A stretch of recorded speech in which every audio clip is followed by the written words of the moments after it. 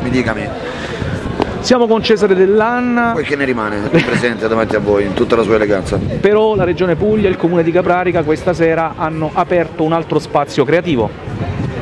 Mm, sì, c'è un altro spazio creativo interessantissimo, ma io sono qui perché voglio che ce ne siano molti spazi creativi a breve. Questo è un comune che adoro da sempre e trovo che abbia un sindaco veramente speciale, una persona veramente aperta, moderna con la quale si può ragionare su tutta una serie di cose. Usciti fuori da questo comune, province, regioni e politici di grosso calibro preferisco non parlare, non mi interessa perché personalmente con la burocrazia ho sempre solo avuto problemi, per cui mi affido all'amico Paolo per tutti i progetti che vogliamo fare in questa meravigliosa cittadina, perché questa città va ricaricata, quindi Capra ricarica tutta la vita e se le cose vanno così come pare che debbano andare questo posto diventerà un centro veramente dove arriveranno tutti i miei amici da Los Angeles, dalla Romania, da New York, dalla Russia, faremo una scuola di altissimo livello di teatro, ci saranno dei musei permanenti e comunque c'è di fianco a me i miei amici di sempre, eh, lo scultore, il professor Antonio De Luca e, e Giuseppe Semeraro, l'attore, scrittore, che sono i miei compagni di viaggio della Bagno Hotel da ormai dagli anni 90, quindi il trio è collaudato, eh, il livello artistico è sicuramente altissimo, se la burocrazia non ci mangia anche stavolta daremo molta molta soddisfazione insegneremo tante cose anche gratuitamente a tutti i ragazzi perché dopo la messa della domenica ci sarà il maestro dell'anno che face la lezione di tromba e di musica a tutto il paese gratuitamente e faremo suonare ogni giardino, ogni albero, ogni singola strada di questa piazza purché ci sia la disponibilità vera di fare cose vere, potenti e senza perdersi nei soliti meccanismi della politica e degli amici degli amici della politica e degli amici della bandiera e degli amici dell'Ugurure scritto della bandiera, non calzellauro, tutto a posto. naturalmente ci porta oggi a poter eh, guardare in faccia con occhi nuovi la nostra comunità, poter eh, dare un passaggio ulteriore verso quell'idea di Caprarica del poeta. E questo è il frutto di un gioco di squadra, il frutto di un gioco di tutti quanti, anche un frutto, un merito che va riconosciuto eh, a chi ha creduto in noi nella regione a chi ci ha dato una mano tecnica e culturale importante, tutti i partner della biblioteca e il nostro progettista e, e da ultimo e non per ultimo anche al nostro ufficio tecnico. Se tutte quante queste cose siamo riusciti a farle perché siamo riusciti a creare uno spirito di collaborazione con l'ufficio tecnico che ho visto qui Renato, no, non vedo più, e che ringrazio sinceramente e a cui credo una parte di tutta la comunità e un ringraziamento di tutta quanta la comunità non deve realizzare tutte quante queste cose è perché qualcuno le carte ha preparate. Eh, eh, quel qualcuno è lui insieme con i suoi collaboratori. Evidentemente l'abbraccio va a tutta quanta Capranica, a tutta quanta la comunità di amici che è qui. Eh, un abbraccio forte evidentemente lo faccio a chi con me tutti i giorni combatte. Eh, e finché abbiamo la forza di combattere abbiamo la forza di guardare a un domani. Io sono un po' bibliomane, non- una di quelle che, che legge, se trovo una carta a terra mi fermo a leggerla, non so se, ecco, se a voi capita. Ma perché è proprio brutto che si, sia, che si esca così. Allora dicevo, ma dov'è l'origine di questo problema? I ragazzi ce l'hanno un luogo dove andare a leggere, dove educarsi a leggere, ce l'hanno. Abbiamo noi delle biblioteche come quelle che vediamo a Bologna, come quelle che vediamo nel nord Europa, aperte, aperte 24 ore al giorno, addirittura dove di sera si può andare, dove i ragazzi possono andare con i loro nonni, che gli raccontano le storie. Ce l'abbiamo noi. E allora ho fatto un'indagine. Ho commissionato un'indagine sulle nostre biblioteche e sui nostri luoghi di aggregazione sui nostri luoghi cultura. Qual è stato l'esito?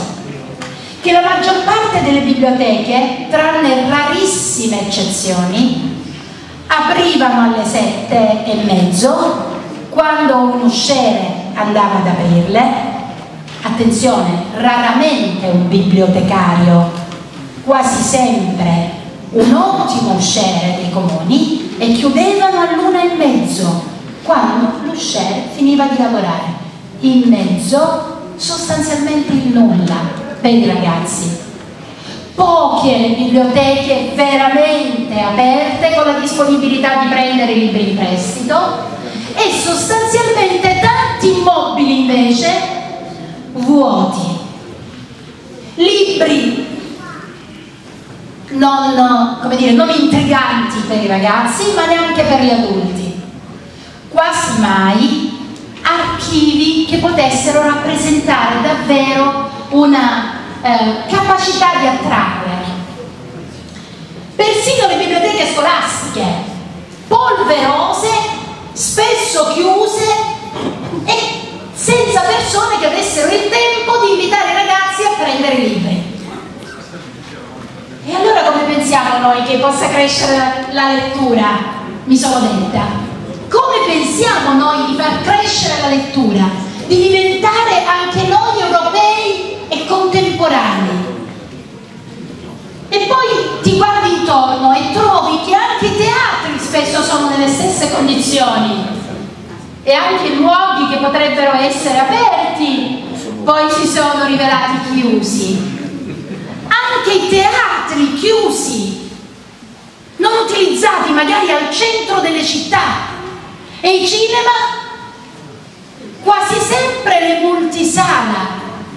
Circondate da luoghi sicuramente dove si mangia un buon hamburger ma senza i prodotti locali senza quella visione di comunità e di borgo che invece davano i nostri vecchi cinema. E palazzi, castelli palazzi storici chiusi restaurati, nella maggior parte dei casi restaurati, ma chiusi. Quindi come pensiamo che il laureato in beni culturali, mi sono detta, trova lavoro in Puglia? Come possiamo pensare che lo storico dell'arte o l'archeologo trovi lavoro? Se questi luoghi sono chiusi, e come pensiamo che i ragazzi leggano? e che anche gli adulti, gli studenti siano invitati per esempio ad andare in biblioteca come fanno le mie figlie a Ferrara o a Milano, studiano in biblioteca per quanto vivano in appartamento. Come pensiamo noi che vadano in biblioteca se le biblioteche non sono aperte?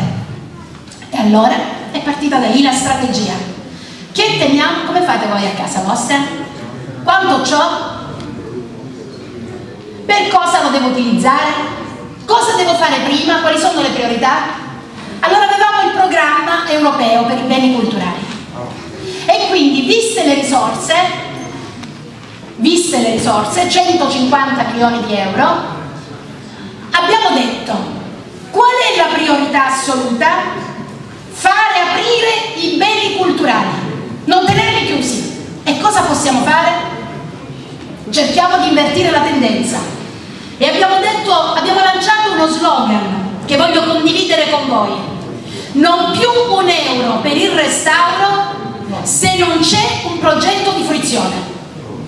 Cioè, se il sindaco Paolo Greco mi avesse proposto un progetto, o il sindaco Alessandro Quarta, che vedo qui davanti a me, anche lui è stato contento qualche sera fa, abbiamo inaugurato la San Donato città d'arte, non so, non so se mi spiego. Eh? Se il sindaco Paolo Greco presenta un progetto dove restaura muri e mi chiede i soldi per il restauro dei muri e non si capisce che cosa si deve fare all'interno, zero. Progetto bocciato. E, e allora è partita la fase costruence ma allora partiamo da quello che serve davvero per animare i ragazzi, da quello che serve per far crescere le comunità, per dare uno spazio di lettura, che se non si educano, questo ce lo dicono psicologi, tutti gli esperti diciamo, se non si educano quando sono piccolini, non leggeranno più.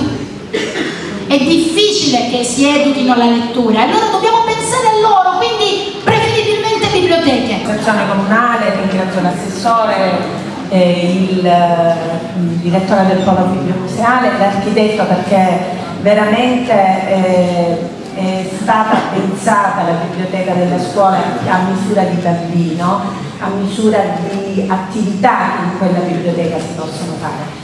E allora, come istituto comprensivo noi lavoriamo molto sulla lettura E abbiamo in particolare proprio eh, a Caprarica già dall'anno scorso eh, realizzato un'iniziativa particolare per cui io chiamo il sindaco dei ragazzi Aurora qui con me perché noi